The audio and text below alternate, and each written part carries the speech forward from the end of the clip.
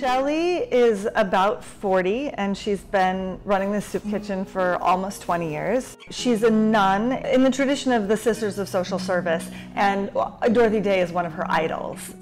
She's hitting a little bit of a wall, questioning the efficacy of her vocation. More and more people are coming to the soup kitchen uh, because more and more people are jobless, and it seems like the structures that could help people out of poverty are not being changed because she sees the same kind of hopelessness day after day. She's gotten really worn down. And then this young girl shows up and sort of reignites her faith, and they form this uh, intense friendship, and it sort of changes the trajectory of her life. I think I probably chose to write about a soup kitchen because I grew up working in soup kitchens. My parents are both high school teachers, and they met uh, while running a group home uh, for homeless kids.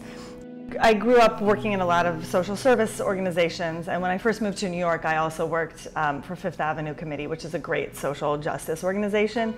I felt excited to write about the kinds of relationships that are formed uh, in places where people are explicitly there to help one another, because there's a lot of extraordinarily beautiful stuff that goes on, and there's a lot of crazy stuff that goes on. you know, everyone's motives for helping or needing help are different and they sometimes can um, create very intense situations. I'm currently wearing three hats, uh, playwright, television writer, actor. Sometimes people will ask me which I like better or if I'm ever gonna choose.